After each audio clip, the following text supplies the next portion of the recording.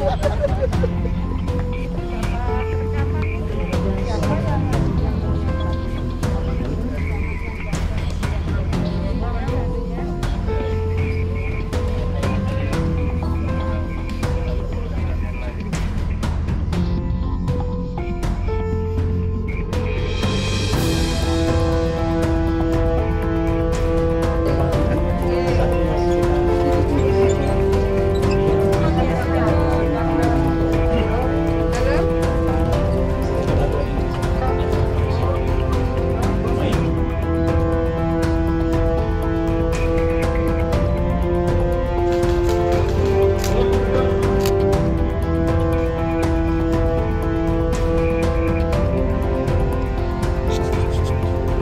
Ini ada kecenderungan, uh, saya akan masuk pada persoalan COVID, ada kecenderungan kenaikan uh, mereka yang terpapar COVID-19.